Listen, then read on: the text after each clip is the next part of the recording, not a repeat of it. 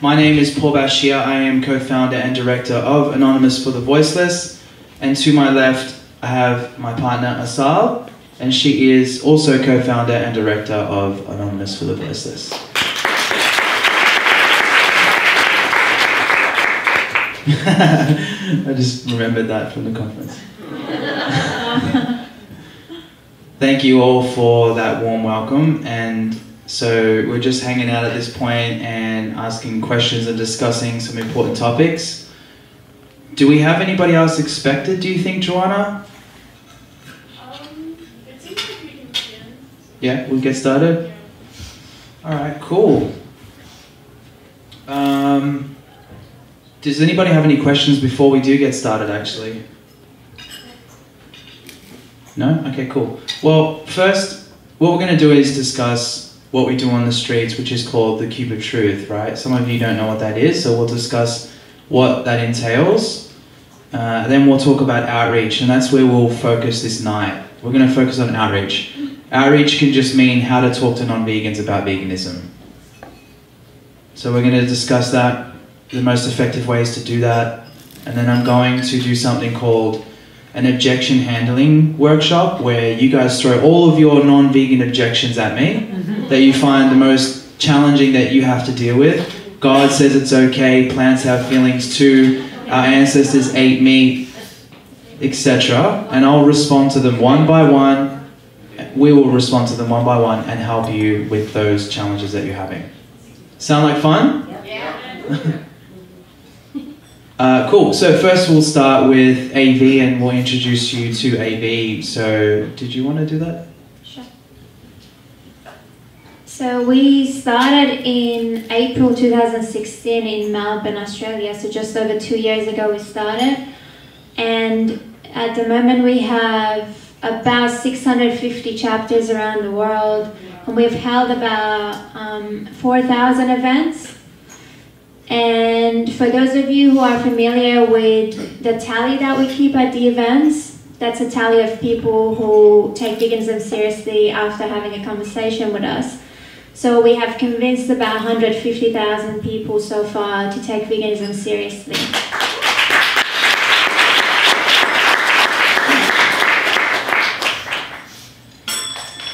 So we're just going to get into the structure of the cubes and then we'll talk about the outreach. Um, so basically what we do, we form a cube with activists wearing the anonymous mask or the Guy Fawkes mask. Um, the cube can be anything from four people, so one on each side, to two to three. Um, and if you're standing in the cube, we ask you to stand straight and don't look around. Stand shoulder to shoulder to the person next to you. If you're holding a screen or a sign, just try to hold it, hold it as straight as possible, especially if they're taking photos. They might come around and straighten your sign or screen. Um, don't look at your phone or don't look around, don't talk to the activists around you. And if you ever need to take a break, you're more than welcome to take a break. You just put your hand up, and one of the organizers will come and get someone to swap with you. Um, also, if you're standing in the cube and you see a very young child watching the footage unsupervised, raise your hand again so that one of the organizers can come and find out if that child is with their parents or not. Um, another occasion you would raise your hand is if you feel like there's a bystander who's been standing there watching the footage and no one has talked to them yet. So you raise your hand so that one of the outreachers will go and talk to them, but you need to do that in a way that that person doesn't realize that you've asked someone to go and talk to them, because otherwise they might just feel a bit scared and they might just start walking. yeah, don't uh, don't don't point to them. Maybe just say, you know, that person standing there with a red jacket. Just go and talk to them. They've been standing there for ten minutes. Um, and we do suggest that if you're in a cube, take breaks regularly because it is very exhausting. So every hour or so you can swap with someone.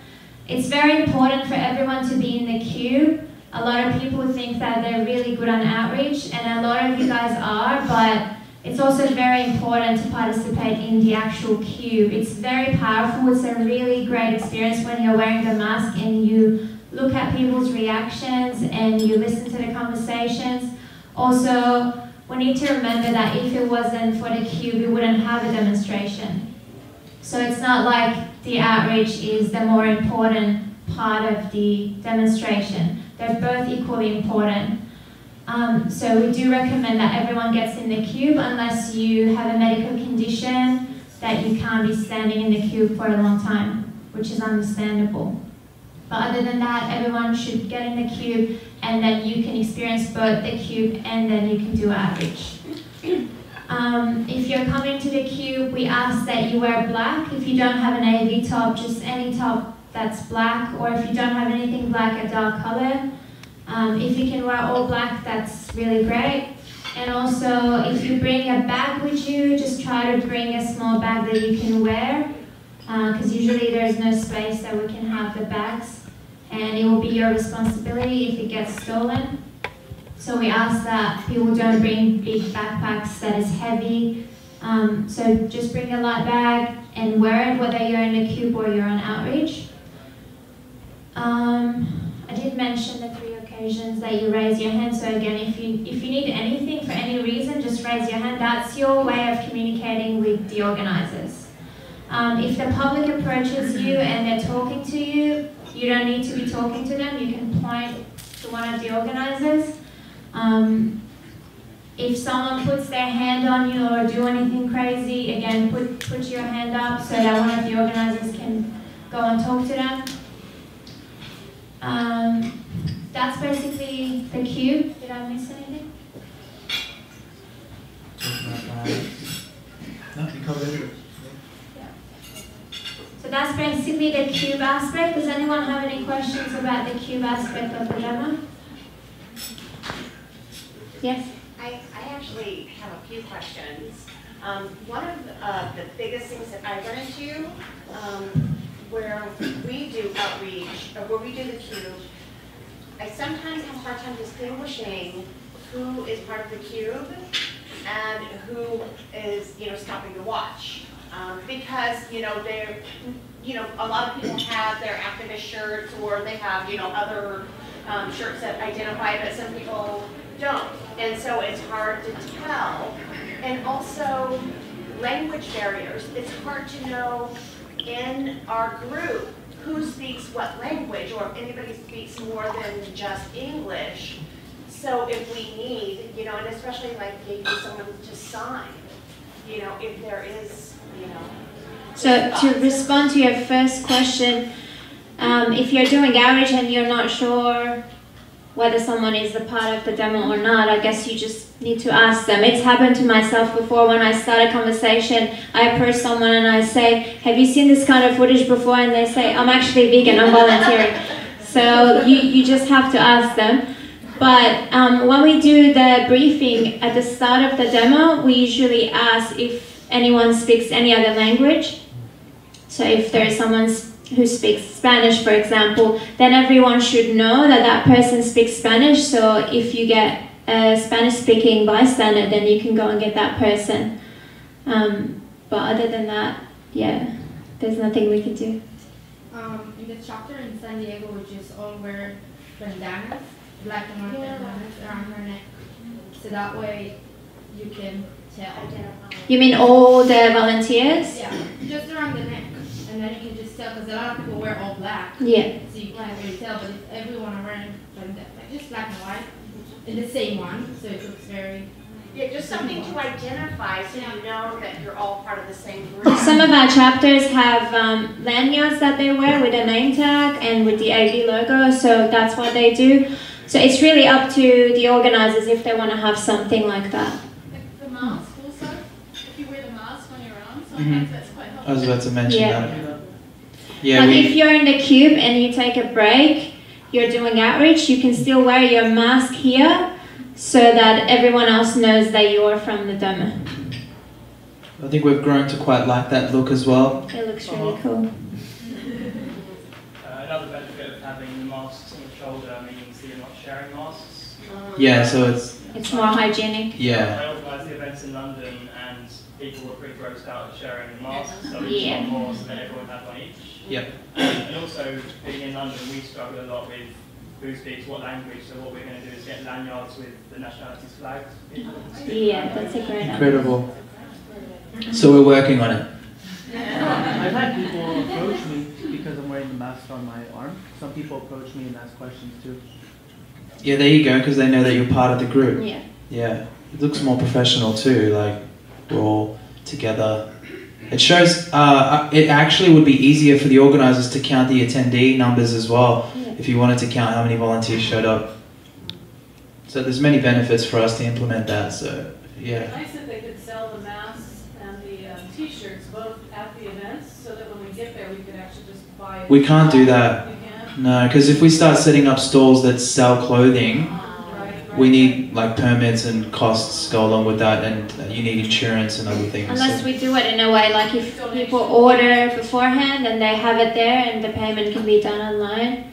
But that's something to discuss with the organizer. Yeah, because usually the, the way they think, the way that Over here, it keeps going out. the way that it's set up. so we're talking into it now. Um, yeah, the way that it's set up at the moment is. I actually just forgot my train of thought. What were we talking about? The masks and buying the masks. Oh yeah, so every city, every chapter organizes like a bulk order for their volunteers at some point, and then you, there's a discount that comes along with doing bulk bulk orders through our store. So that's another. That's kind of how that works at the moment. So we could buy in theory from the organizer then? You could organize with your organizer and the whole group to do a bulk order of how many people want AV shirts. 20 people, cool, we'll do 20 orders. Can we get this fixed? Because I don't feel like this is. It's good now. Is it? Oh, okay, cool. Alright, so any other questions regarding the cube? Yep. So you guys said uh, 150,000 people and roughly uh, have moved to either curious about veganism. What is the, how do you guys gauge that? So, how do we define it? Yeah. Uh, okay, so as you know, when you're doing street activism, there's no way that you can define exactly, like, you, there's no way you can say definitively that somebody has gone vegan, even if they say that they're going vegan to you. The only way to fully know is if you hire a private investigator to follow up on their lives. So, since you can't achieve that, then the best thing that we have is to go on our sincere feeling of whether they are going to go vegan or not. So we count this as somebody who doesn't just make a couple of compassionate comments about animals, nod their head while they're talking to you, and then take a card and leave. We're talking about people who have shown you clearly that they take this issue seriously and that they want to move in the direction of becoming vegan. And then when you give them the information, they show interest in actually following up and looking at whether it's a documentary or going and signing up to Challenge 22, which is a 22 day vegan support group that they can sign, anyone can sign up to for free. So, and you can also gauge by asking them, do you think you'll be going vegan after this experience you've had with us? You can, you know, you can prompt them with that question as well. So that's how we gauge. Does that answer your question? Yeah. Yeah, so that's the best that we can do, and yeah, that's that's where our tally comes from. If it seems unclear, I I mean, from my opinion, if it seems unclear to anybody, I think it would clarify through your experience. Like, the more you do it, the more you'll see Yes. exactly Good what point. we mean. You know what I mean? Because Yeah. it might seem kind of unclear now and vague, but the more people you talk to, you can easily say, you know, Yeah. from like a scale of zero to ten. Yeah. So. Yeah. I also just want to use this opportunity to talk about the 100 point system. So, our goal on the streets is not necessarily, and this is perhaps what should be everyone's goal in general, is not necessarily to get someone to go vegan there and there on the spot during that conversation that you're having with them. We only have a short amount of time with people on the streets doing this work. So, our goal is to push people up on the 100 point system. Most people are against animal cruelty, it doesn't sit well with them. So, right off the bat, you could say that many people are, are not even at the zero point, they're, they're somewhere above zero. But if you're talking to a cow farmer, they might be in the negatives, who knows. But my point is, you're supposed to think of this as a 100 point system where you work your way up the system. So, what am I trying to say? I'm saying that if you talk to somebody about veganism and you make really, really rational points that cause them to think about this seriously, that's 50 points perhaps, maybe higher. Okay? Then they go home and they watch a documentary as a result of that conversation, that's 20 points, you've got them up to 70. Then they go to a vegan restaurant the next day and they try a really bomb vegan meal. That's another 10 points. That now they're up to 80. Then they read something that's really shocking about the environmental aspects. That's another 10 points. Then they find out that they can actually reverse heart disease and cancer by going on a plant-based diet. 100 points. They're sold. They just needed that benefit at the end to push them over the edge. That's how the system works. So don't get frustrated when somebody doesn't, the penny doesn't drop right there and then in front of you and they don't go vegan on the spot. It's not how it worked for me. I needed education and independent research that I did on my own. That's what took me, that's what got me to where I am today. I'm sure many people did go vegan overnight. Many have, but many, ha- many, many more have not. And so we have to think of it more as getting them closer to veganism. That's the way that we should be looking at this. If somebody goes vegan on the spot, that, that is also our goal. like, we're not going to be upset with that, right? But that's not necessarily like we don't want to be attached to that because we're all going to drive ourselves insane if we do that. That's that's why we make it clear working on a 100 point system. So with outreach, um, as Asal's already covered, we allow people to come to us. So that's very important. I only covered the cube. Oh, okay, cool. So I'll get into the outreach now. So with the outreach, the cubes, let's just say the cube's operating as proficient, as effective, as efficient, as amazing as possible.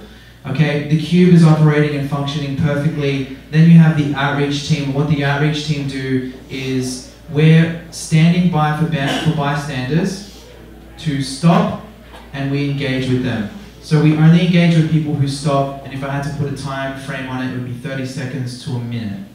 But I don't necessarily, we don't, as an organization, we don't officially have a time frame for this because you're supposed to use your best discretion. But I will say, please don't move in too quickly to talk to people. That's the number one problem we find on outreach around the world is that people move in too quickly. They get too excited. Oh my God, somebody's stopped and somebody's watching. I'm going to go have a conversation with them right now before they leave. You will push people away psychologically at least, and that's not what, what that's not what you want. When you engage in discussion with people, you want them to be engaged in the conversation, listening to what you have to say, and most importantly, being intellectually honest with you, which will not happen if someone has their has their walls up. If someone's on the defense, they will not be intellectually honest with you. They'll tell you plants have feelings, even though they don't believe that. So it's important that we play this from a sales psychology point of view. We allow people to stop, watch the footage, there we go, and absorb what they're watching on their own accord. Because nobody in this room likes somebody else to make their mind up for them. Am I right? You like to make up your own mind. So people stop, they watch the footage. Uh, then we ask, then we would go over to them and ask them really simple questions. So we just start off by being normal human beings, and people say, "What should I say to people? What, what? Give me some lines to use." I'll say, "I'll give you one. Hi." Start your conversation like that and see where it takes you. So, be a normal person. I recommend that highly. Then say, have you ever seen this footage before? That's probably the most common question you'll hear at an AV demo. Have you ever seen this footage before? Uh, my favorite question is, would you like to know why we're here? Because it plays into the curiosity of what they're thinking. They show up, they see a bunch of people dressed in black with masks, holding truth signs and laptops, playing horrendous footage of animal cruelty. What the hell is going on right now? That's what I'm imagining people are thinking. So, would you like to know why we're here? Yes, I would like to know. Great. So then I would get into more questions because questions are more effective in this line of work than statements. And I'll give you an example. I could walk up to you and say, animal exploitation is wrong. Okay? Where does that leave you in the conversation? Nowhere. You just it's, I'm just shooting words at you. If I say, do you think animal exploitation is wrong? You now have a position in this conversation. So he now gets to answer the question. Well, I, well let me think about it. Mm, animal exploitation is wrong, actually. It doesn't sit right with me. That's what you want engagement. People engaging in conversation with you, not you just having a conversation with them. I will say, though, lecturing, you know, dropping truth bomb after truth bomb after truth bomb on people, that has its place. Okay, and it's usually during conversation that you'll realize that someone is in a position to receive that. So you have to engage in conversation first to find where people are at and whether they are willing to just sit there and withstand truth bomb after truth bomb. Because usually not everybody's open up to that, right? They're usually not willing to do that. They want to just be asked questions, have things to think for themselves, get the information, do their own research. So you want to be asking questions, right? So I think you guys got the point with that. And essentially it's more effective because um, again, when you do find that point where people do want to receive lots of information, then you can just go, you know, go AWOL on dropping information. And it's a great opportunity uh, when, when you do have one, but for the most part, people do like questions. So going to ask a series of questions about the footage that they're watching. Another question I like to ask people is, did you know that what you're watching is RSPCA approved, or in this country is SPCA, isn't it? So you could say, did you know that what you're watching is SPCA approved? It's also it's also organic, free range, cage free, humane certified. This is standard practice. So ask them the question, did you know that? Because most people will be shocked by that. Most people that see us on the streets take away the message without talking to us uh, that we are against animal cruelty, but they don't necessarily know what the solution is to that. So they might, people might be thinking that the solution to that is better conditions for the animals. Therefore, it's very important that you make the distinction very quickly that what they are watching right now is considered the most humane, highest standards within animal agriculture. So we start off with the animals that people eat and use for food because most people are exploiting animals in that way. At least 98% of the animal cruelty that exists that exists in this world comes down to food products. And so we focus on that first, but then during the conversation, it will probably come up that, well, objections will probably come up during these discovery questions that you have. People might say, well, yeah, I do think that animal exploitation is wrong, but God put animals here for us to use. You know, so there might be an objection that comes along. And that's what I'm going to help you with during this outreach workshop. But is there anything else that I didn't cover before I get into that? Uh, just um, if you're having a conversation with someone, if you're doing outreach and um, you feel like they're just there to troll and argue with you, or that you've been spending quite a lot of time, say over half an hour, and that conversation is not going anywhere, it's better to walk away from that conversation. So I guess the more you do outreach, you learn better how to recognize whether that person is actually interested or not and it's very important to walk away from them. You can leave them a card and you can say, I'm not here to argue with you, um, but definitely walk away because there are so many people out there that are open-minded and they want to learn about this. So we want to focus on those people and we don't want to waste our time with people who just want to argue with us. Can we just hold questions? But can you just write that question down so you don't forget it? Um, but I think that's it in terms of outreach. Yeah, so. And also just the tally. So if you're doing outreach, we do keep a tally. So um, Paul explained before what kind of conversations we count as a tally. Mm-hmm. So make sure you, if you can remember the number, or if you want to write it down on your phone, or if you have a clicker, just make sure that at the end of the demo you give that number to your organizer so they can count it as a total tally. But again, it's very important for us to be conservative about tally. It's not really a competition. We all feel good if we got 10 people, but we, we do want us to be conservative. So please just remember that. I, I also want to say, even if you get zero while you're out doing cubes with us, you still played an integral role in the success of the event. Because without you being there, it may not have been as effective as a whole, which we're all part of. So I'm going to give you guys some things to remember here with regards to outreach. Now, when AV was, um, during AV's inception, I realized that outreach had a lot to do with sales. And, has my mic played up again? Nothing. Uh, I don't think you can hear what I can hear. Um, so, so I'm going to give you some things to to consider here because I have a strong sales background. That's what I did for a paycheck before I was even thinking about anything to do with plant-based eating or ve- I wasn't even I didn't even know what veganism meant until my early to mid 20s.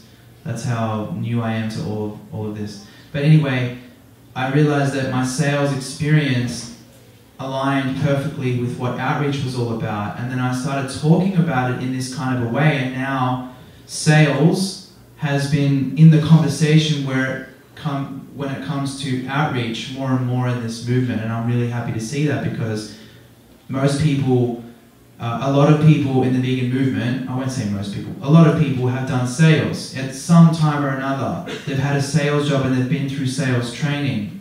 So you might have learned skills in those in those training sessions that I think that we should remember and use when doing outreach because convincing somebody to go vegan is indeed a sales process. Okay? You have very you have it's very much the same. So objections are objection handling is a term that comes from the sales by, sales world, by the way. So an objection is somebody saying plants though. The way that we would identify that is actually a point of inquiry. If it's coming from someone who's being genuine with you and not just trolling. So that's important, like Asal said, it's important for us to distinguish whether these people are just wasting our time and to just cut conversations short with people who are unreachable. But if somebody's being genuine with you and saying, but don't plants have feelings as well, or whatever the argument might be, we should view that as a point of inquiry. There's work to be done. They're obviously interested, but in their minds they see an obstacle and they don't even understand perhaps why that obstacle's there. So let's help them through it. So sales is really the backbone to succeeding in outreach. That's what I want to say, and I'll give you guys some tools. So the first thing I want to discuss with you guys is the feel, felt, found uh, method. Feel, felt, found. Okay? You guys might want to write this stuff down. Feel, felt, found. And the way that that works is if somebody says, Oh, I'd love to go vegan, but I just don't think I can give up cheese. A great thing to do in response is to say, I understand how you feel. I felt the same way when I was looking into this information for the first time. I thought I wouldn't be able to give up cheese as well. I was a big cheese lover. But what I found is that vegan cheeses are everywhere and there's so many different varieties and different brands that I could get the same textures, the same flavors as the cheese I was eating without involving cows being tortured and being killed. So feel, felt, found is a great way to relate to somebody at their level. Does everybody, does everybody here not understand that method? Okay, that's good. So it's pretty simple. And that's the other thing. In sales, there's also a saying called KISS keep it simple, stupid. So that's the other thing. You need to keep it simple because most people on the streets, especially with the short amount of time that we have them, do not want to get complicated with you. Keep it real simple, and it is really simple. Most people are against stabbing animals in the throat. Great, there's a solution. Eat a veggie burger. It's real simple stuff, so just break it down as simple as possible for people. Even if you're talking to someone who is a scientist on the streets, they probably don't want to get too scientific with you. Um, but if they do, then engage in that kind of technical, you know, conversation. But what I'm saying is, for the most part, people don't want this.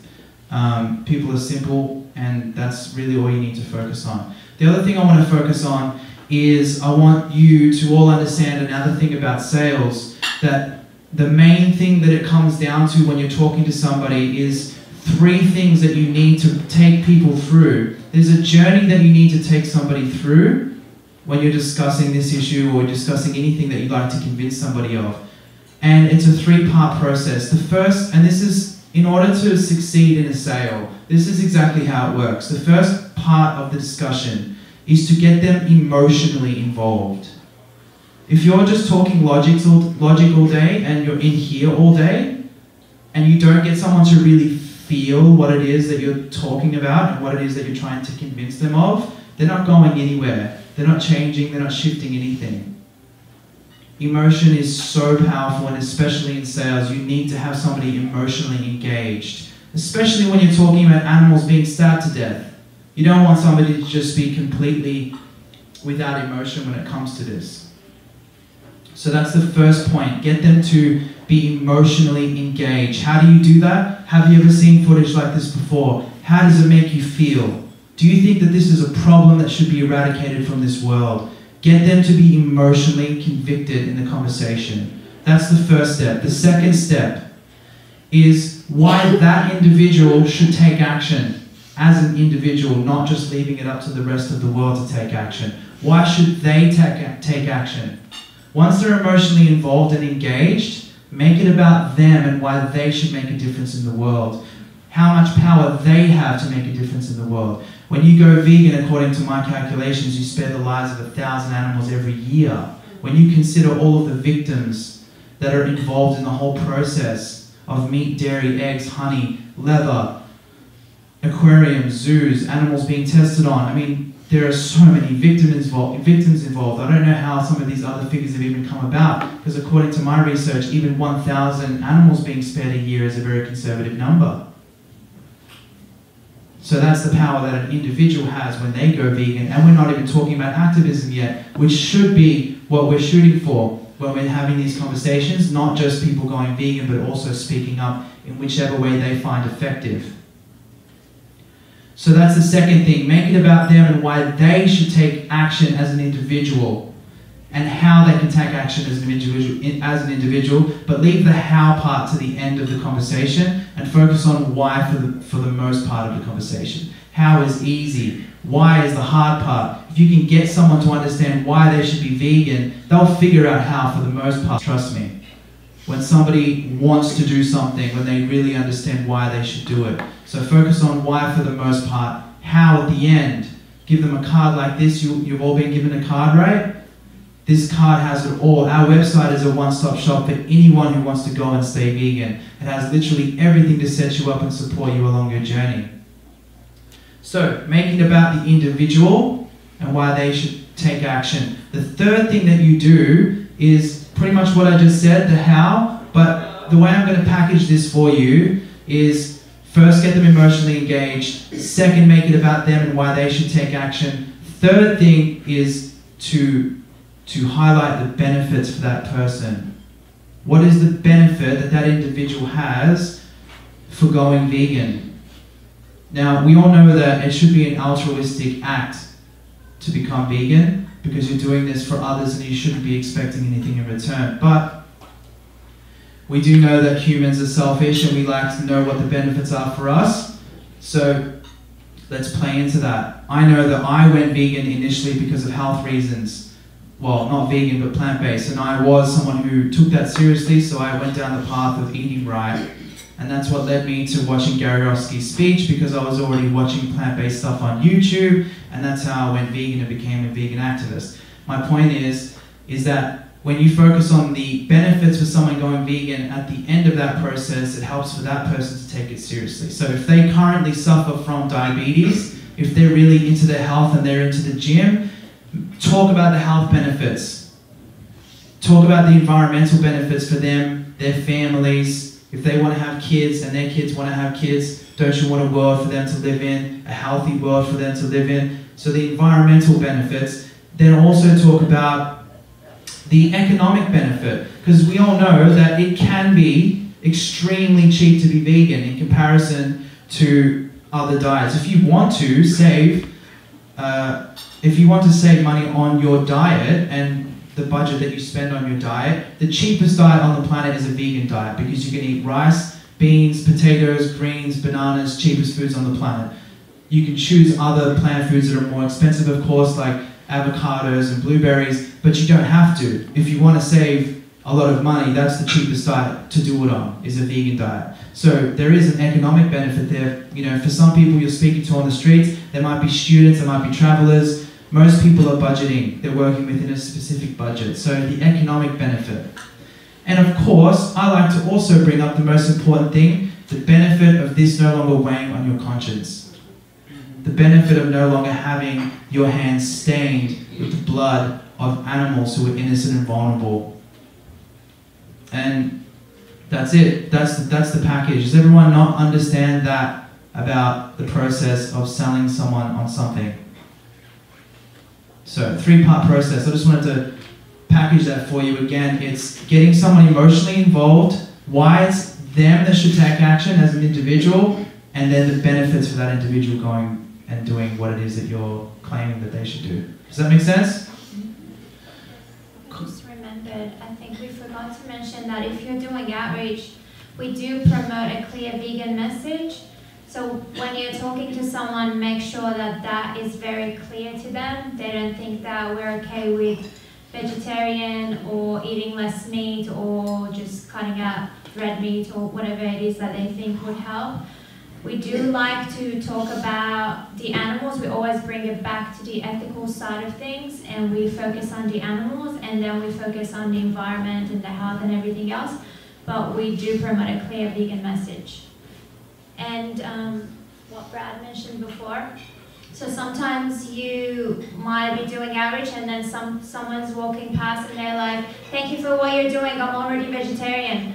So if they're stand, if you if they're stopping, that's a good chance to grab them and explain to them that we're actually not doing the same thing. So explain to them what the difference between vegan and vegetarian is, and and we usually have footage from egg farms and the dairy industry, so you can talk about those. And also, if you've got a vegan walking past and they're thanking you for what you're doing, it's a great opportunity again to um, let them know that we do these demos regularly and we have 600 chapters around the world, so give them a card so they can join us and become active.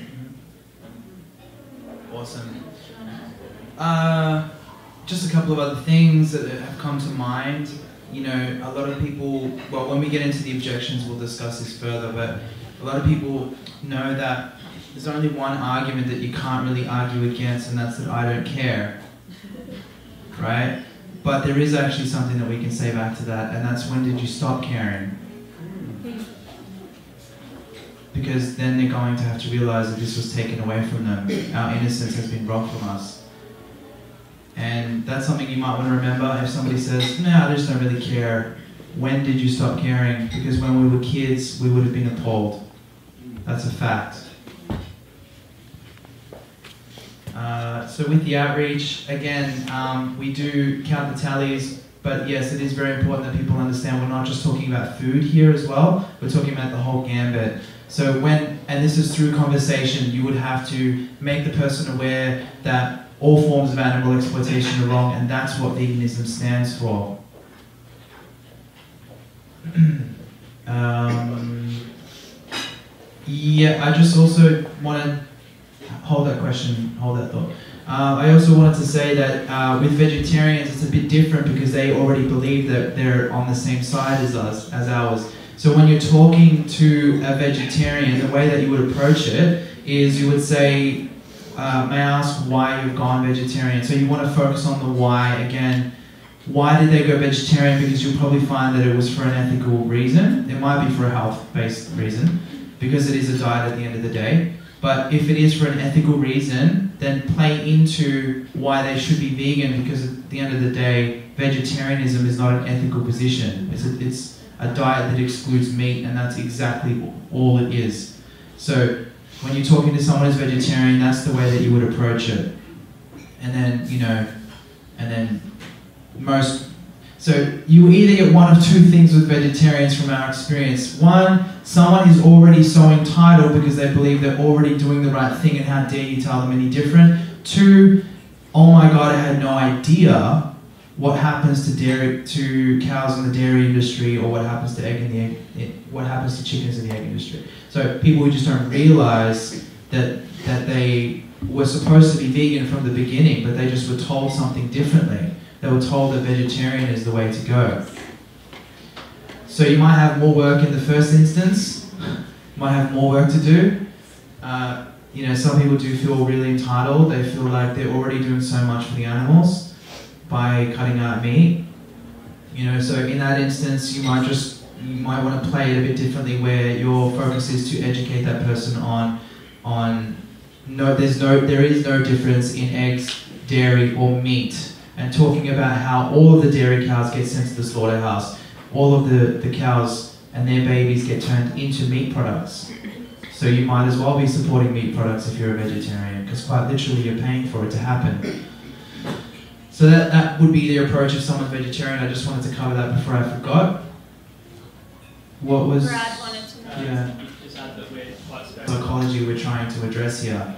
If we're just handing out leaflets, we are coming off as very desperate, and that's not a good energy to be around. Even though this is the most urgent issue in the world, we don't want to reek of desperation. It's not a good look, and it pushes people away.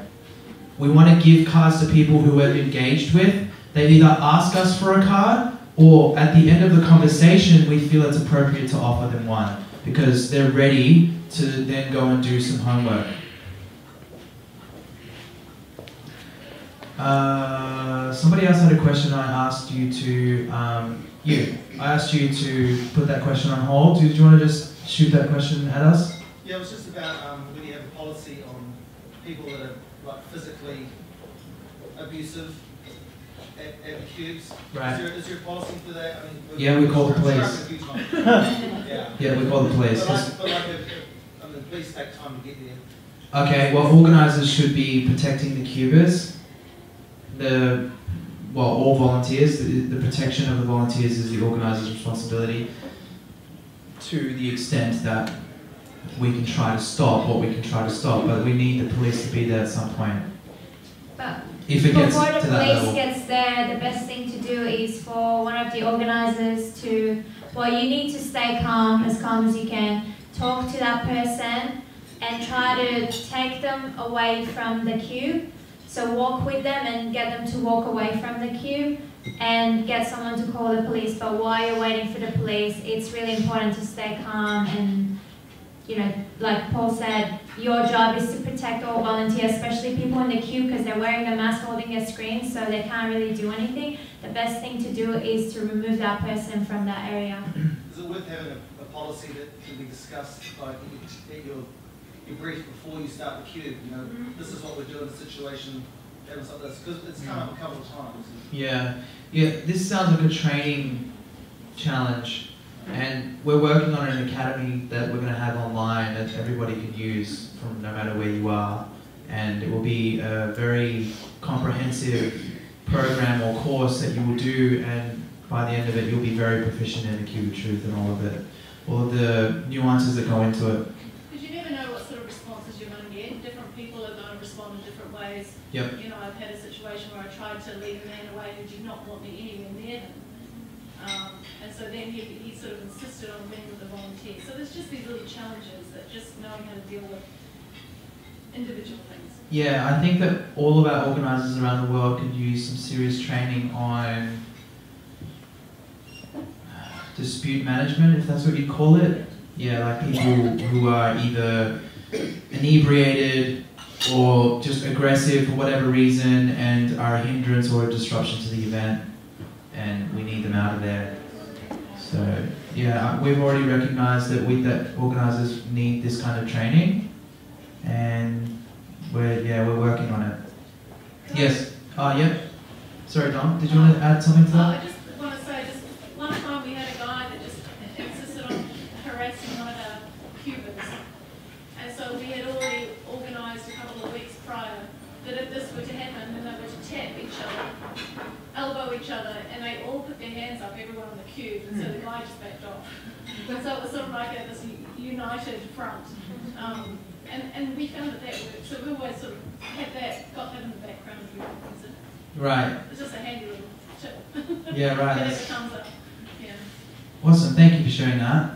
Um, just before we take any more questions, I uh, I just wanted to also let everybody know, I'm not sure if we covered this, I just remembered that with doing your tally, so during the demo, you're counting your tally, you can actually count your tally on an app that you can download for either iPhones or for Androids, and it's called Clicker. You don't necessarily need this, but it does help. It's called Clicker, and you can just count your numbers that way by just pressing a button and it counts your numbers. So that's a good way of keeping note of how many people in the three or four hours that we're doing these events that you've spoken to have taken the issue seriously.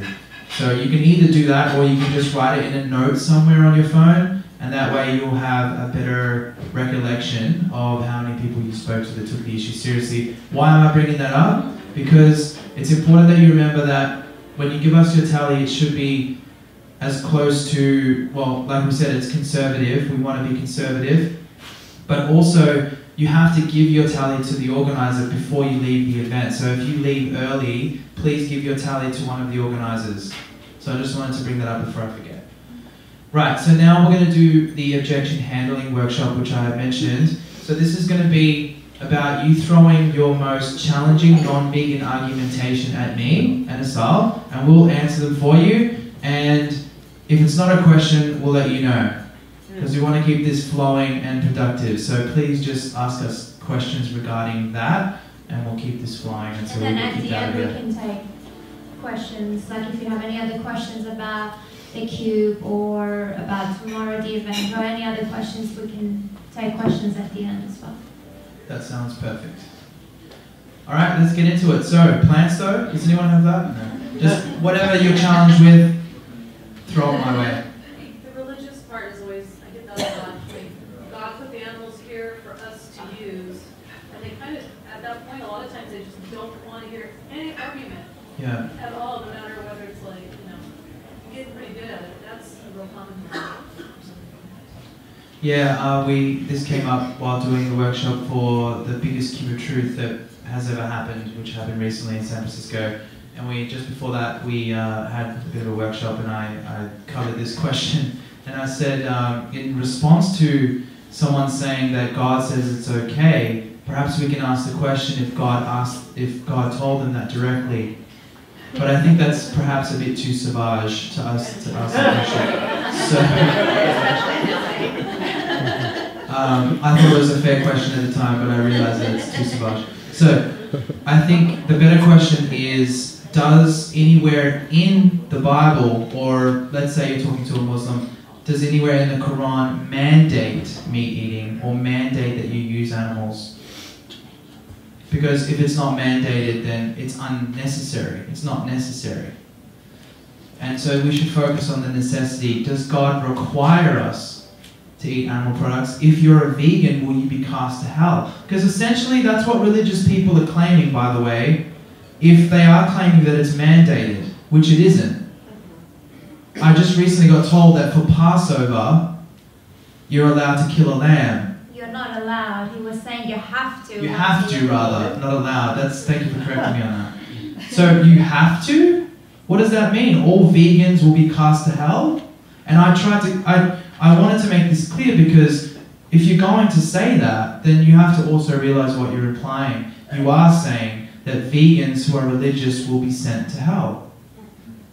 Whether it's Christian or. And if you're saying that God requires you to kill and eat animals and use animals, that's what you're saying. All vegans are going to hell.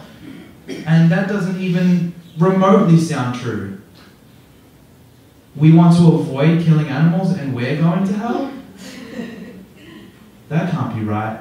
I think So- a good answer would be that uh, God didn't create those animals. We bred them into existence. That's that's one point, but then you, that could make an argument for hunting. You could say hunting's justified then. So what I would say is ask the question: Is it mandated? Is it required that I eat animal products? You know, and then once you've asked that question, they should come to the conclusion, or through the work that you're doing, you should have them reach the conclusion that they don't need to. And obviously, the conclusion is that you can be vegan whilst being a Christian or a Muslim or etc. So that's what you want to reach. You want to reach that conclusion of me not needing to. Once you reach that point, then pose the question if we can live a life healthy and happy without harming animals, why wouldn't we? I would also ask the question don't you think God, who is rooted in peace, compassion, and non violence, would prefer that we put the knives and guns down and we leave animals to live out their lives with the liberties that they deserve? And to that point, most animals that we breed for food, we breed for food. So they're not breeding on their own terms. We bring them into existence. That could also come up in the conversation, but not as a means to justify it, because you could justify it as a counter with hunting. Does that answer your question? Yes. Good. Mm-hmm. Yes. Yes. Oh, I was just gonna quickly say for that question, I usually just politely remind people that God made animals first. God made animals first. So how did He make them for us to eat if they were here first? He created them before He created us. Yeah, but if you're a Christian, you won't, you don't believe that because Well, you believe in the Garden of Eden and how God created everything in seven days. Yeah.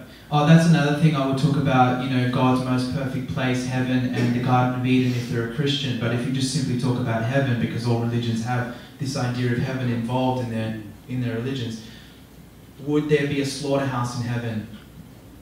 Such a powerful question. And also too, to add to that, um, I've been dealing with a Christian household, so uh, they always strive for that, you know, to be Jesus-like. So on top of that, not just if slaughterhouses are in heaven, but if you strive to be Jesus-like every day in your life, why not create that heaven here on earth? Right. So, Well, I love how Gary Russell says the Garden of Eden. Oops, the Garden of Eden, because it used to be. That's what it was. There was no killing. We were eating fruit, apparently, naked, running through the jungles. So there was no killing. Um, and I would also say, if somebody says God put them here for us, I would also ask, do you think they're here for us or with us? Because that's also another distinction you should draw. That animals are here with us, not for us. And also in that nature, I mean, God or nature is the same thing. Why did they make us uh, not carnivore? I mean, our bodies de- determine what we should eat, right? Mhm. Um, I mean, I, every time I tell them we'll, we'll go hunt without a tool Yeah. or eat the, the, you know, the meat raw or chicken raw, and nobody has an answer to that either. Because you can't. God didn't make us carnivores if you think about it. Yeah, totally. But that so that's another topic of physiology and science where most religious people don't buy it. But I'm just going to keep this to questions. So if you're raising your hand right now, please make sure it's a question and not related to the previous one. Yes. Oh, and you? oh, all of them came down. Wow. all right. Yes. You mentioned the central nervous system argument as well. Central. Yeah, I, I do like to also say that if God put animals here for us to eat, why would God put animals here with a brain and a central nervous system and a heart and the ability to live in fear and experience torture? That must be a literal hell for them. Why would God create beings only to put them through a literal hell and have them fully experience it? Yes. Um, so this is more like a, there's like a, a few of these that come up, like there's like a certain question that asks like about like phone production, like places where phones are made or like clothes and stuff like that. Yeah. We don't really know where they're from or like they're from places where people are killing themselves. And it's kind of like a tu quoque fallacy, if you know what I mean. And Yeah, I do. How do you, like, have any advice for responding? Well, there's certain things, there's certain structures within society we've all agreed upon, such as cars and highways. Like we've all agreed collectively as a society that that's a good idea, that we shouldn't just be running to work if we you have to get 20 k's to work. Like cars are a good idea, okay? Um, I wouldn't be here, we wouldn't be here if it wasn't for planes, and you know, we wouldn't be able to walk here from Australia, that's for sure. So we've all agreed upon certain things, certain technologies that do cause some harm, and just by existing as humans, we do cause some harm. So the goal is not to be perfect when advocating for this message. Although we do take um, waste seriously within our lives, um, you know, we try to reduce how much plastic we use and all that kind of stuff. But what, see, the thing is, if somebody is saying, but you use phones though, or laptops though, well, what's the alternative? Do we live in the jungle and even in that case we stand on ants and kill them by accident? what's the alternative? What is a practical solution to the situation we find ourselves in? Because we didn't ask for this, we were born into this world.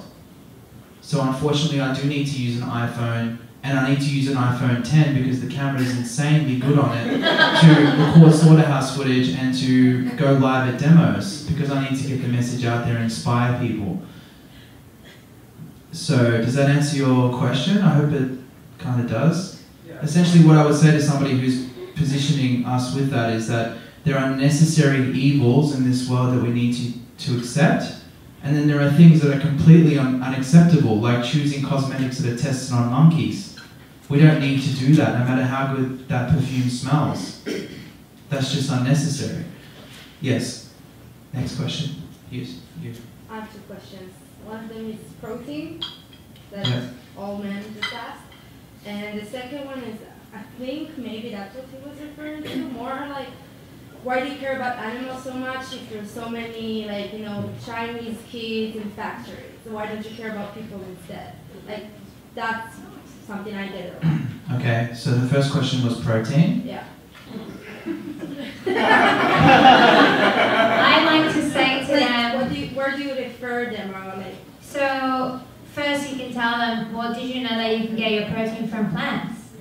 And also I like to say, you know, people like to eat chicken or cow's flesh for protein, and I like to say, where do you think that cow got their protein from? Obviously, you can get it directly from plants. It's really, it, I think this one is really easy for them. Like people usually don't have anything to say to that. And also, if you want to continue, you can actually show them how there's more protein, for example, in beans mm. compared to a steak.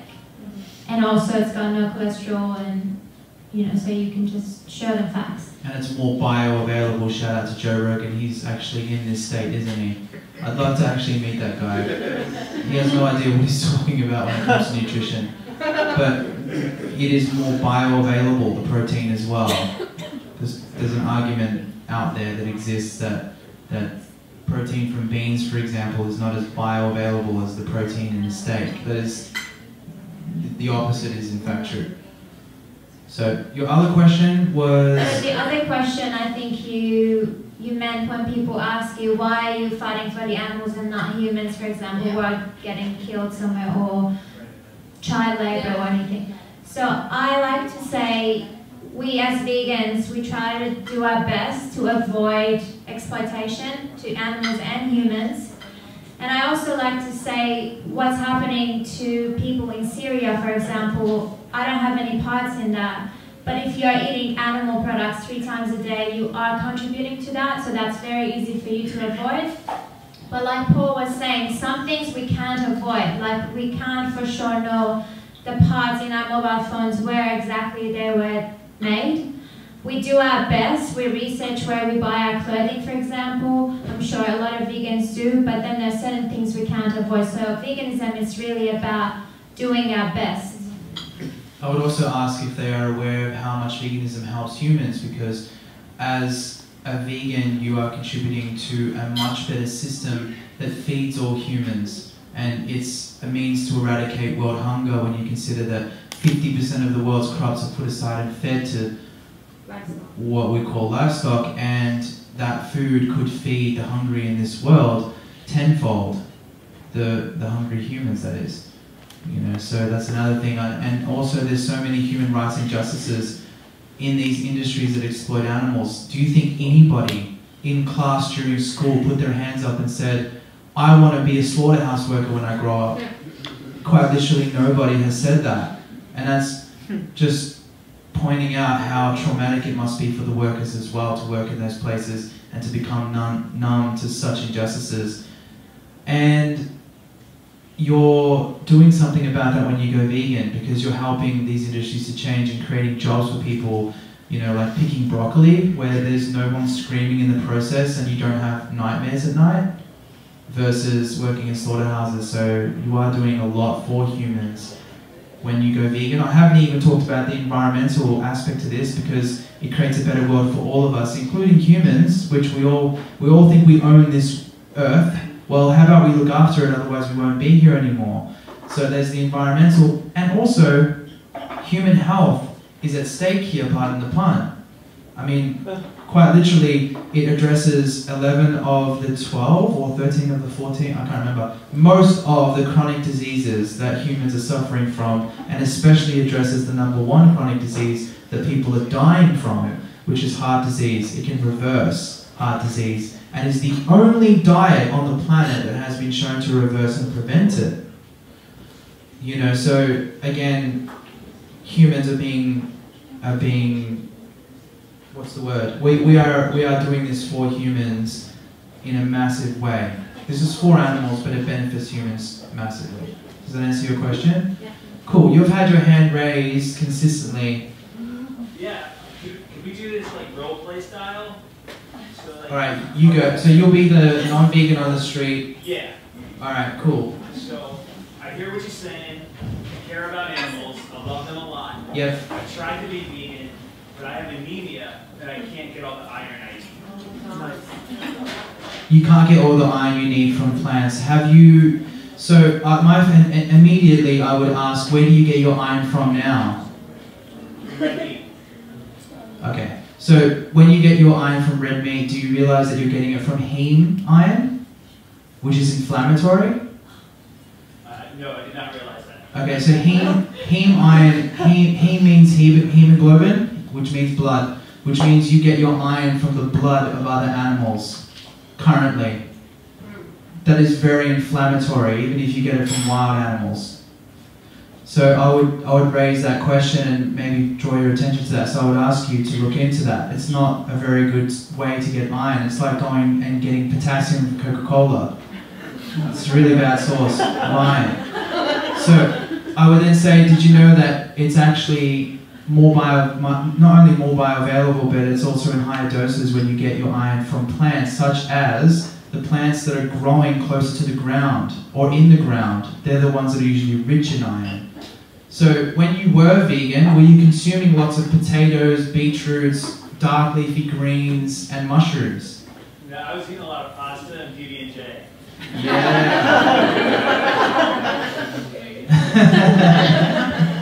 And that's the truth, so thank you for being honest with me. yeah, so that would be the way I would respond. Was that satisfactory? Yes, thank you. I like how you said which which vegetables have, have iron in them. Yeah, the ones that grow in or, or close to the ground. They have the most iron. What's that? Tell me what's Popeye. Yeah, spinach, yeah, exactly. Alright, yes. Um, yeah, to keep the role playing going. hey man, I hear what you're saying, but I can't digest beans. I hate tofu, and miraculously, I'm also can't eat gluten. you memorize people into trifecta of intolerances. It's amazing.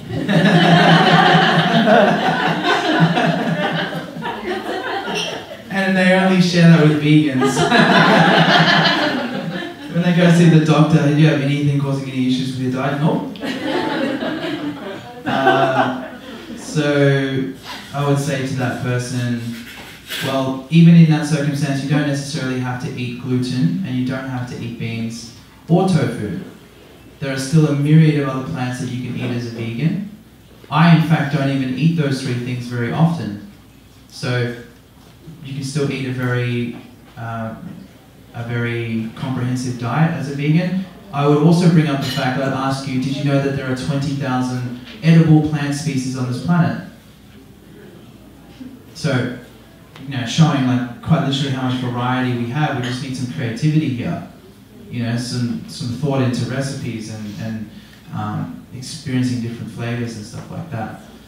Um, but if they say I just love eating bread though, or I just need to, you know, for whatever reason eat beans, or if it's a protein thing, like they feel like they're going to be inadequate in some nutrient, then I would just also come back to what I was just saying before about how we can quite easily cover those nutrient deficiencies with a plant-based diet. I think help? any question people have about nutrition and if, if they're concerned about calcium, iron, anything, if you explain to them that you can you can have a vegan diet but be unhealthy, you can just basically eat junk food and ice cream all day. Obviously, you're going to be unhealthy, but if you really care about your health, then eating a whole food plant-based diet is the way to go. So eating lots of potatoes, rice, quinoa, and then veggies, like you said, like dark leafy, uh, green veggies, and then you know beetroot, beans if they can digest them. So if they are eating a whole food plant-based diet, then they are getting everything they need. But obviously, if they're eating just whatever because it's vegan, then they're gonna have deficiencies. The best thing for a mineral deficiency or vitamin deficiency is a solid green juice. I just recommend that to everyone out there and for bystanders if you're talking to them. Do you, do you, you know, I would ask, do you have a green juice every day? Because I think everyone should have a green juice every day. A second part, second question is, uh, he came at me with, um, he said, where do you think your crops and the beans and everything you're getting from, the horticulture, like the industry? Yeah. They target and they exploit people and animals, and yet you're contributing to that. So Mhm. here I am saving the animals, and he's telling me you're also exploiting people. Okay. So here's how you address that. Um, first and foremost, most crops in this world fed to animals that people eat.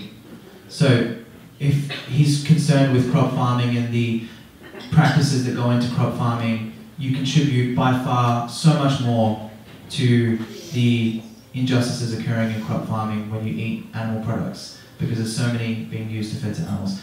We should have a discussion about better farming practices. Vegans all would not oppose that. We would have that conversation. I want to have that conversation because I don't like that the pesticides are being sprayed everywhere and end up in our waterways and destroy um, and mess up things for bees and other things. I don't like that. I do want things to, to improve and I do want to buy my produce solely from farmers markets who and from farmers that are doing the right thing. Not the most practical solution for us traveling people at this point in time, but you know, possible it's in many regards. My point is is that a conversation is a real one that we should be having as a whole, but but humans are focusing on 2% of the problem here. Really, the biggest problem is animal agriculture. These industries create far more demand for crop farming than vegans. You know, so that's how I would address that. And people who eat animals, they don't just also eat animals, they eat vegetables too. Right. So they're doing both. Yes. They're doing double, so that Yeah. doesn't make any sense. Again, and veganism is not something that anybody does to become a perfect human being. That's not what the definition of veganism is. The definition is to avoid animal exploitation as much as practicable and possible. So this is about being practical. You know, so yes, there are some animals that are killed in crop farming, and the farmers might go and kill in Australia. They kill kangaroos, and you know you're paying for that when you buy your organic grapes. I get that. You're supporting that, but it's not a perfect system. At least you're not overtly creating the, the demand for cow flesh, which you can argue. So there's there's certain things that you can argue with crop farming. You could argue that you don't know whether an animal has been harmed in the process of the broccoli getting there to your plate. You don't know. It may have happened, it may not have happened. But when you order cow flesh, there's no grey area. It's a fact that an animal was murdered for this. So that's what vegans are trying to do here. Vegans are trying to just avoid the obvious exploitation that's at hand here. And even vegans, like, we're always learning more and more and more about how exploitation of animals ends up in insidious ways in products and services and things. So we, it's a constant learning process, but of course we're going to do this because we put ourselves in the victim's position. Like you said, it's easy to make the right decision when you're thinking about this ethically. You know, sure, I'll just take the B12 supplement and avoid killing a cow in the process. For you, it's a no-brainer. You know, and that's how it should be. Unethical things happening in like one environment does not constitute. Yeah. Or when you try to tell people that are opposing, they're gonna find any, like especially with, like, I think, he's been my hardest, you know, person to convince or even touch anywhere. And that's the thing, is like, it's the thing where I hear a lot of things about, well, if you love animals, you wouldn't do this. Well, he loves animals and has pets, but he doesn't make that connection. And, and I, I sometimes feel that you hear that a lot, like, if you love animals, you're gonna do that. But I've also seen videos where I've had people in my home where I- it kind of happens, like a constant, you know, um, vegan, animal rights stuff going on, but with me, with my kids around. And the question that people come at me, you know, the the things that they, I see people don't connect. So there is a lack of compassion, there is, and, and I guess like you were saying, when you come to, where you just can't waste your time, I'm not gonna waste my time with him anymore because there's other people that I can, I can reach. It's been put out there to him, I gave him the information. But I just, I'm finding that the compassion, there's some people, they just lack it. Even though you would think showing them these videos, it would touch something. I mean, people walking hmm. by, it doesn't move them at all. And that, that, I don't understand that because But I, I had the same response when I first saw footage like that. It's not that we lack compassion. I don't think that people here went vegan because of compassionate reasons. I, I, I hear this a lot in the vegan movement, and I don't agree that you go vegan out of compassion. I think you go vegan because it's the right thing to do, and you see it as, a, as an issue of justice and fairness. Because if I don't stab a human to death today, that doesn't make me compassionate by default. If I don't stab an animal to death, it doesn't make me compassionate. Does that make sense to you? So avoiding killing animals doesn't make you compassionate. It's just the right thing to do. You wouldn't do it in your right mind. You wouldn't walk out of your house with a knife in your hand seeking to kill innocent animals needlessly. Nobody in their right mind would do that. So it's just a matter of veganism shouldn't even be a thing. There should be no word for it because there's no word for people who don't kill humans or commit injustices against humans. We're just normal people who don't get a label. But if you rape and murder other humans, you get a label rapist, murderer. Does that make sense? It's because we think we're natural meat eaters, that's why. Before we get educated on our biology, that people we're not. that when they watch those videos and it still doesn't do it. They're like, oh, well, it's just part of the And that's like layers of conditioning though, like he's talking about, when was the disconnect? Yeah. Because it's not that, it's generally not that people aren't. Yeah, thank you for bringing that back to that point because I just want to say that we're all conditioned into this psychopathy. So I just I'll repeat that. We're all conditioned into this psychopathy. Our compassion, quote unquote, has been robbed from us. We do evil things and commit violent acts towards animals and we pay for it time and time again to happen multiple times a day on, on our behalf because because we don't see it as an injustice. We don't even consider animals victims at all. And that's the thing, when we say, think about it from the victim's point of view, and people say, victim, they've never even considered that animals are victims. So that's, that's the work that I think humans need to do. And I find it really crazy that humans haven't already had like a serious conversation amongst themselves about whether we are carnivores, omnivores, or herbivores, because it seems to me that it would be quite important to figure that out, because we're talking about life and death here. We're talking about literally killing animals as a result of that conclusion, whether we are meat eaters or not. I mean, that's a very serious thing that we should have established by now, but clearly we haven't. So I, don't know if that answers to your question, does it? All right, cool. Um, someone over there has had their arm up. I can't see who because it's blurry from the light. But you, yes, you. Sophia. Sophia. Uh, Um, I talk to like a lot of people from a young generation. So they always say like they want to be vegan, but their family would never let them. Like, what would you say to that? So if somebody wants to go vegan but their family won't let them, it's about you empowering them as much as you can with, again, playing into the why factor. So have, having them convicted and sold on why they should be on why they should be vegan. Then giving them resources so that they can work out how to be vegan on their own accord and slowly start to educate themselves so that when they break free from their enslavement from their parents, they can then become vegan and do what they want. So, you know, giving them the tools and the resources like the ones we have on our website. But first, I would focus on making sure they get why they should be vegan and really feeling the conviction. Does that help? I say to kids, don't listen to your parents if they try to tell you that you need to eat animal products. You, you know, you can be kind to, you can, you, you know that when you eat animal products it hurts animals, you don't have to do that. Look at us, we're thriving as vegans. Do you know what vegan means? And you know, like, this is what I would what I would say to a kid. Like try to empower them so they don't have to just listen to their parents when they're saying that you need to eat meat and you need because I find that to be one of the most horrendous things that we do that we force feed children an injustice and force them to take part. So next question, please. Yes. Yeah, so the first Cube of Truth I ever attended, uh, this lady walked right up to me and asked me what my stance was on abortion.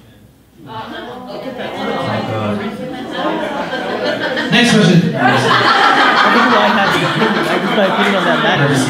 Yeah, it was my first cube, so I was pretty nervous. Uh, I did tell her I was pro-choice, and she immediately asked me, like, if you don't respect the right of a child to be born, why should I respect that animal rights of And I haven't had a chance to come up against that question again. I, I, feel like I, I know how I would respond. How would you? Uh, so I was asked, well, she was saying that, uh, well, at the time I said that these are two different issues, like they're not related, but she was saying, no, we're talking about life and death, life and death. So now I would say, you know what, there is a connection between uh, what you think about abortion and animal rights. Uh, it's about choice of the individual. Uh, you know, the woman is the one harboring the child, so she, and she has one life, she has she's going to live with the consequences. It's not going to be easy if you choose to abort. You're going to live with that rest of your life. It's probably the hardest decision any woman ever has to make. Yeah. The only the thing is uh, that's them making a choice for themselves. But when you decide to eat animals, you're making a choice for another individual.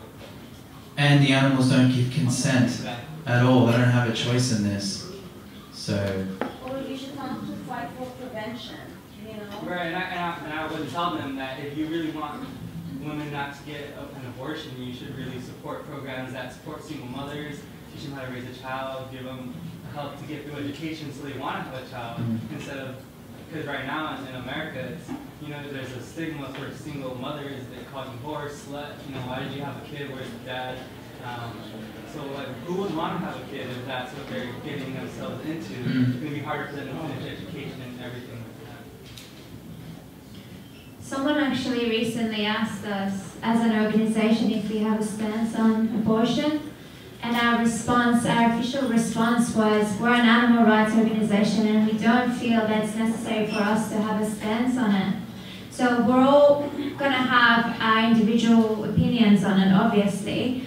But if someone approaches you, they're really just trying to divert the conversation and they don't want to talk about the animals. Because like I was saying before, when you're paying someone to kill animals so you can eat them, you're actually participating in that. But my opinion of, of abortion, when I have never experienced it myself, it's not relevant. So really, I feel like people who keep talking about these things at events, they really just wanna, just wanna argue with you. mm, no, In no, my no. experience, people who have brought up abortion, they were not open to discussing. That's just my opinion, my experience, but they were just not open to talking about animals and they, they were just not open to the arguments and to veganism. They're just there because they see that we're doing something and it offends them that there is a cause that's just 100% dedicated to animals and they want to make it about humans. They just don't like that. Um, The person that Earthling Ed, um, he gets that question a lot, and I've seen on his interviews, and he always tells them, you're more than welcome to go and fight for your cause. Yeah. But this one, you don't have to participate. So you can, part- you, you can basically uh, care for mul- multiple causes. Yeah. And I feel like that, that's a very good answer. It is. Because when you go vegan, it's a non-action. Does everyone know what that means?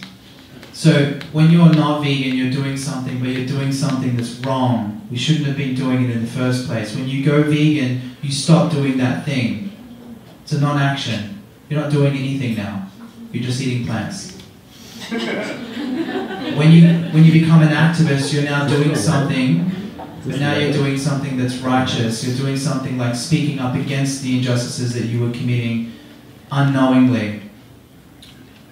So, when you're vegan, not taking action, not doing anything. Therefore, if it's a non-action, you can still be an activist in other regards while eating a veggie burger instead of a chicken burger.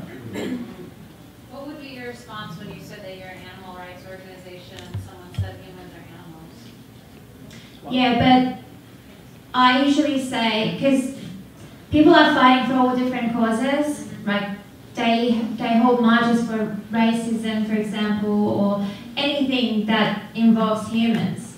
Nobody ever, no vegan activist ever goes up to them and asks them to talk about animals and speak up for the animals. I don't know anyone who has ever done that. I don't know why we're expected to involve humans in this one cause that animals have. Yeah, I mean, for every single vegan we've had come up to us and say we need to speak more about other issues pertaining to humans, I, I just, yeah, I just, I wonder, like, when we're gonna see the day when one vegan goes up to a Black Lives Matter event and demands that they have vegan literature at their events. I just, it's never gonna happen, but vegans seem to be targeted the most when we're speaking up for animals. It's not right. Uh, you've had your hand up, so. I was wondering, what would you say to someone who, although if you go to McDonald's and get like a two dollar hamburger, They can go to Taco Bell. You should bring it back to the animals again, because veganism is not about what is cheaper, really. It's just about not harming animals. So you can bring it back to the animals and say that two dollar burger involves a victim, but a bowl of rice and veggies doesn't. Um, someone said they can go to Taco Bell because two dollars will get you some tacos at Taco Bell. You know what I mean? But yeah, again, like Asal said, this is more of a why thing than it is a how thing.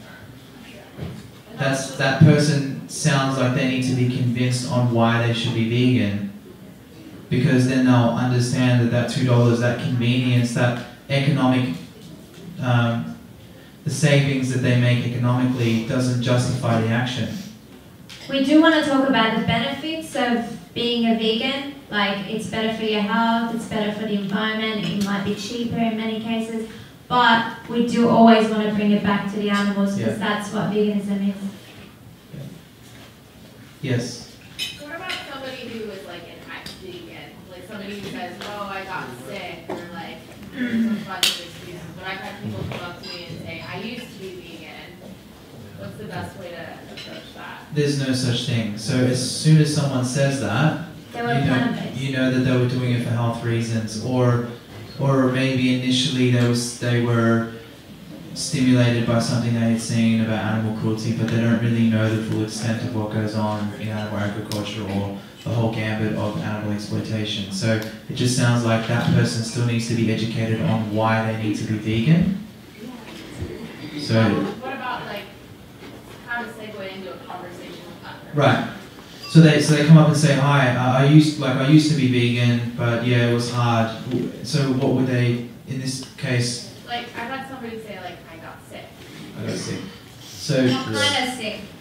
Uh, Like they had a deficiency Yeah. or so we covered that before when uh, yes, I've forgotten your name, but you covered um, the whole We're talking about nutrition. yeah, calcium and iron.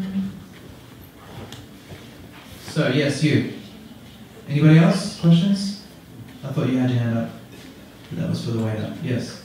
Yeah, so I I hear what you're saying. Like I think animal cruelty is horrible, and I'm completely against it. So can I be pescatarian? Well, when you're pescatarian, you're still committing harm to uh, to marine animals. Yeah, but they're fish. Yeah, and fish feel pain. They're not vegetables. So, so I'll explain to you what it's like to be killed as a fish. If, let's say, the most sustainable and most humane fishing methods, which would be just one person and a fishing line. Let's say in that circumstance you catch a fish. This is what it would be like. You're walking through the park and you're hungry. You see a mango tree. You grab a mango. As soon as you, your hand touches the mango, something wraps around your hand and pulls you up into the atmosphere and outside into space. And you can no longer breathe. You're pulled, you've been pulled so far out of your habitat that you're alone and isolated and have no idea what's happening. And then you, you die because you can't breathe anymore. That's quite literally what we do to fish when we kill them. And from the victim's point of view, we can't justify that. So if you agree that animal cruelty is wrong, fish are animals and they don't deserve the wrath that we put them through. Does that help? That, that, that does help, and, and I, I kind of see that, but it's like, you know, I don't I don't feel it like you know when I see like the cruelty like, um, that like chickens go through or whatever. Like I mean I can see that, but when it's a fish, I'm just like, you know, I, I hear what you're saying, but it just like I just feel like I don't really care. Sure. When did you stop caring? Because if you were a kid, when you were a kid, I can guarantee you if I had a fish in front of you and I stabbed that fish to death, you'd run off crying. Or you wouldn't like it.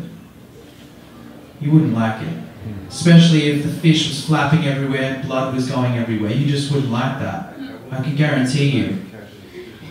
So, we may not be able to relate to fish because they swim in water and we walk on land. They have scales and we have skin. But they're the same as us in all of the ways that matter. In fact, fish feel more pain than we do because we have the ability to shut off pain receptors when we have an accident. If you fall and smash your knee on the ground today, you won't feel it as much as you'll feel it tomorrow. You'll feel it tomorrow for sure. But in the moment, your brain cuts off pain receptors. It's a matter of surviving. Your body has this ability. Many fish do not have that ability, they feel everything.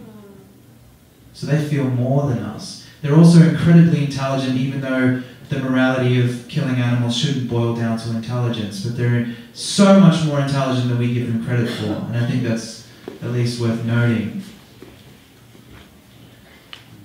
So, yes. How would you address the intelligence issue? From what angle? Animals aren't intelligent. They're not as intelligent as humans. I would say, do you think that intelligence justifies murder? If I'm more intelligent than you, does that justify me harming you? Do, do then children born with mental challenges deserve to be murdered? Or does it justify us murdering them if we get some kind of benefit out of it? Of course not. Does that help? Yeah, that's good. Why are we anthropomorphizing animals? Why are we comparing animals to humans if they're not the same? Because when you analyze any injustice, you must analyze it from the victim's point of view. So we ask ourselves the question would we be okay with that if we were in their position? I don't think that's anthropomorphizing, I think that's just. That's just how you should analyze all injustices from the victim's point of view. Yes. All right, we've got eight minutes exactly. Somebody else had a question. Uh, Dom? Yeah, sorry. That's Um, okay. How do you deal with uh, someone that comes from a place of knowledge? Teachers, scientists, doctors? Yep.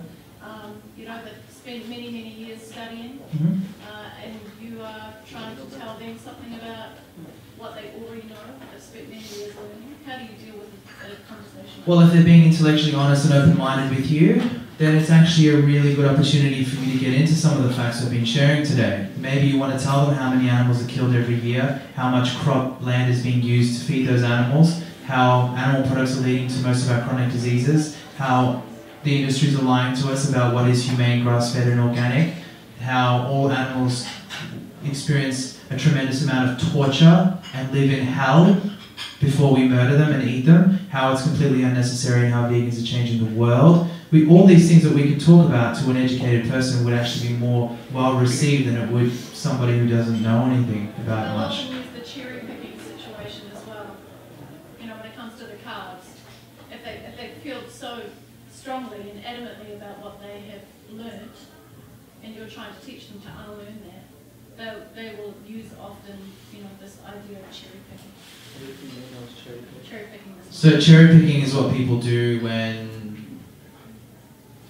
Uh, I like the way that Bill Burr puts this. When you're when people go online and they go into imright.com and they're just trying to like find things to justify their position, and that's what cherry picking is. But again, this comes down to whether that person's being intellectually honest and open with you. And if they're not, then this might be a matter of you just saying what you need to say, leaving them with a card and cutting the conversation off there. But if it's someone educated, um, I'll use this opportunity actually to play into what we should be doing is mirroring people. You wouldn't talk to a truck driver the same way you talk to a a esteemed corporate exec. The conversation is going to be a bit different, so try to mirror the person you're talking to. If you're talking to younger kids, their caps are backwards, their pants are sagging, loosen up a bit. Don't be so, you know, like, you know, maybe you can be a bit more casual with those people when you're talking to them because they'll relate better. And if you're talking to someone who is a professor in agriculture, then it might be a good idea to just stick to the facts and keep it rational. But don't discredit what I said before about the sales process because that's how it works for everybody, no matter what field you work in or what category of human you fit into. Quite literally, everybody goes through the same process. Emotion, you get them emotionally involved, then you make it about that individual, why that person should make change, and the benefits for that individual why they should make change. Alright, so I think we're going to have to wrap this up. So thank you all for being here and being a part of this. This was productive and fun.